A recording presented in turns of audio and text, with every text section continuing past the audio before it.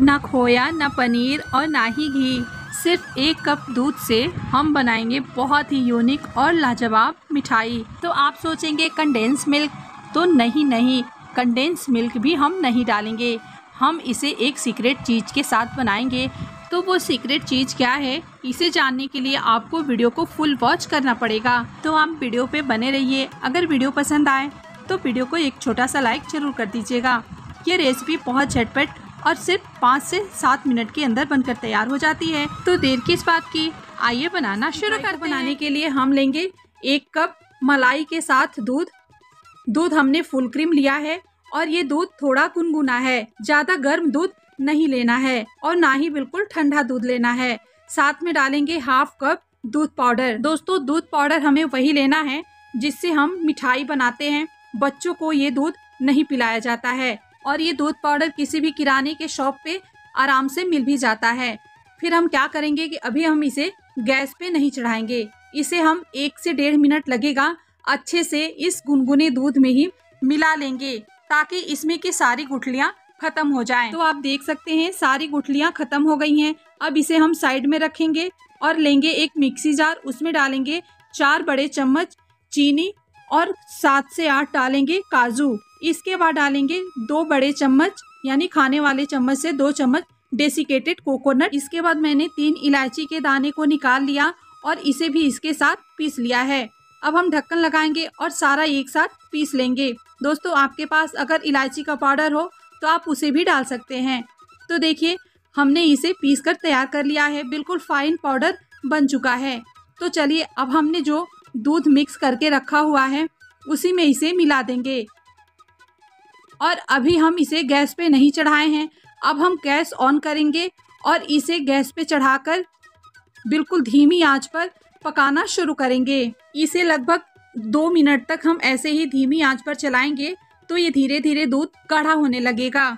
दोस्तों, हमारा देश ऐसा है जहाँ हर एक महीने में कोई ना कोई त्योहार आ ही जाता है, जिसका हमें खास इंतज़ार भी रहता है। ऐसे में कई प्रकार के पकवानों के साथ साथ खासकर मिठाइयाँ ज़रूर बनाई या बाज़ार से मंगवाई जाती हैं। लेकिन जैसे ही त्योहार आना शुरू होता है बाज़ार में तरह तरह की मिलावटी मिठाइयाँ बनने और बिकने लगती हैं और उसे खाकर लोग बीमार भी पड़ जाते हैं।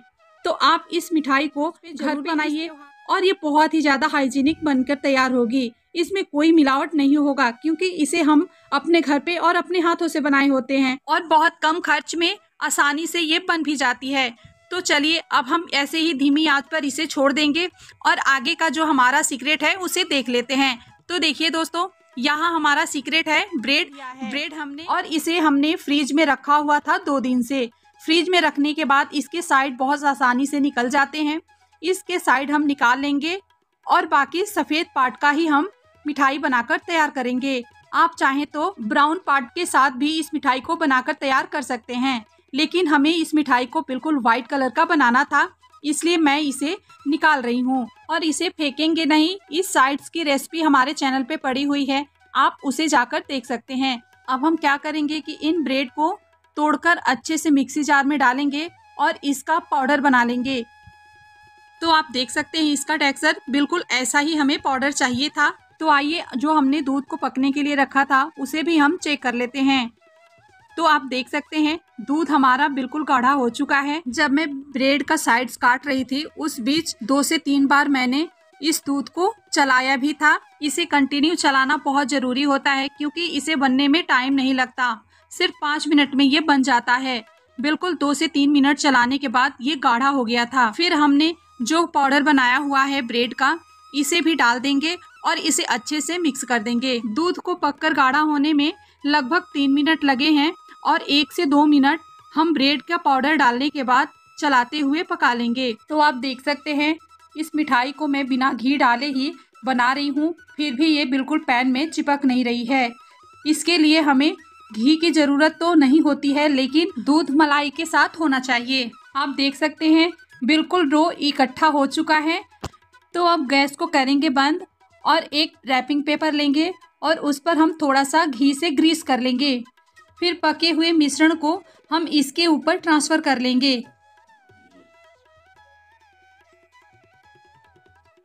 आप देख सकते हैं, इसका बिल्कुल नेचुरल कलर आपको दिख रहा है।